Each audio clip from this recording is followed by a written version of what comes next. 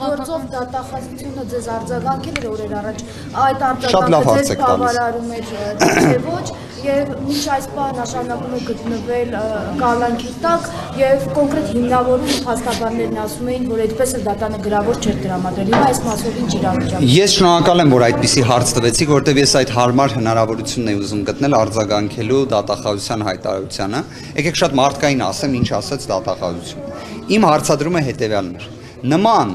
պրիմիտիվ հոդվածով, պրիմիտիվ իր սանկցիայի իմաստով, որտեղ մինչև 3 տարի ազատազրկում կարող է լինել ամենախիստ սցենարով, ամենախիստ։ Ասում եմ առհասարակ վերջին 4-5 տարին մարդիկ այդ հոդվածով կալանավորվել են, հոդվածն է, հոդվածն էլ իդեպ զենքի վերաբերյալ հոդվածն, այսինքն զենք պահելը եւ այլն։ Հիմա տեսեք ինչ է ասում դատախազությունը։ Ասում է այս վերջին 4-5 տարվա մեջ 10-ից 15 հոգի կալանավորված է եղել։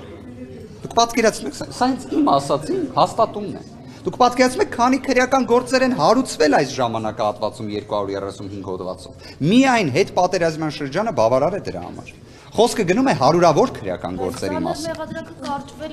Իհարկե, ու դուք պատկերացրեք, ստացվում է Աշոտ Մինասյանը այս հայտարարության արդյունքում դասական իմաստով քաղաքական հետապնդման զոհ է դասական իմաստով, որտեղ ստացվում է հարյուրավոր, եթե ոչ հազարավոր մարդիկ չեն էլ կալանավորվում այս հոդվածով, բայց Աշոտ Մինասյանը կալանավորվում է հիշեցման կարգով։ Վերջերս մենք քննարկում ունեցանք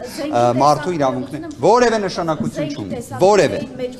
որևէ նշանակություն չունի եւ դատախազությունը շատ լավ գիտի։ Զենքը լինի մի հատ, թե լինի 10 հատ, զերո նշանակություն ունի այդ հոդվածի իմաստով։ Այստեղ մի հետարքիր բան ասեմ, վերջերս քննարկում կար Նշանակություն չունի։ լինի հենց լինի Սիրելի գործընկերներ, դա նշանակություն չունի, այստեղ հարցը իրավական է։ Դատախազությունը փորձում է այսպես ինչ որ էմոցիա փոխանցել, բայց կներեք, ավելի մեծ էմոցիա առաջացնող հանգամանքը, քան 3 Արցախյան պատերազմներին մասնակցած դատախազներին պաշտպանած Աշոտ Մինասյանին կալանավորած պահելը, այն էլ ապորինի դրանից ավելի մեծ էմոցիա առաջացնող հանգամանք չկա։ Բացարձակապես, իհարկե դատական նիստի ընթացքում էր նաև ապացուցվել, որին նաև ես էի մասնակցում։ Բայց մի հատ եկեք թույլ տվեք մի բան էլի ասեմ։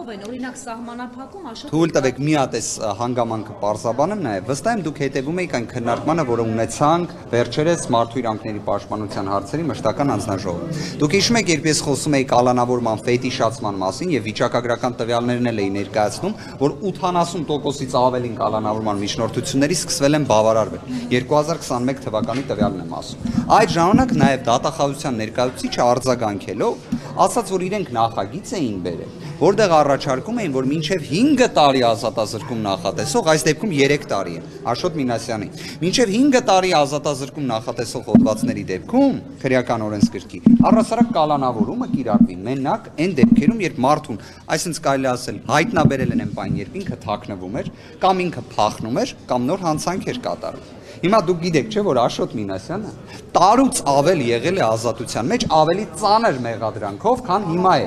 Բայց այդ ժամանակ եղել է ազատության մեջ, բայց նա եղել է ազատության մեջ եւ որևէ կեր ոչ խոչընդոտել է, ոչ թաքնվել է, նույնիսկ ծիծաղելի է ասել Աշոտ երկաթը պետք է ումից թաքնվեր կամ ում պետք է խոչընդոտել։ Միջալության գործով ինչ ներողություն եմ խնդրում Այդ գործով պետք է լինի։ Փաստորեն մեղադրանքներ կային եւ Վահրամ Բաղդասարյանի եւ Արտուր Վանեցյանի եւ Աշոտ Երկաթին, նաև Աշոտ Ավակյանին, գեղանկարիչ, որը որը իդեպ նաև գեղանկարիչ Աշոտ Ավակյանը ըստ Հայաստանի Հանրապետության ազգային անվտանգության ծառայության դատախազության եւ հիշում եք ինչքան շատ էին խոսում դրա մասին ազգային ժողովում։ Գեղանկարիչ Աշոտ Ավակյանը այդ սպանության նախապատրաստող խմբի մեջ էր ընդգրկված, այո, բանդայի եւ այդ գործը կարճվեց եւ փաստորեն պարզվեց որ սին էին այդ բոլոր հայտարարությունները։ Հիմա այստեղ էականը ինչն է, որ Աշոտ Մինասյանի նկատմամբ այդպիսի պրիմիտիվ մեղադրանք է արկա,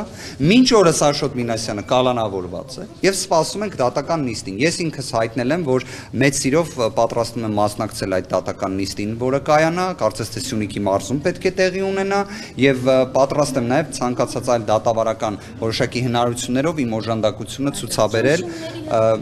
Ես կարծում եմ բոլոր դեպքերում օրերի հարց է, որ Աշոտ Մինասյանը պետք է լինի ազատության մեջ։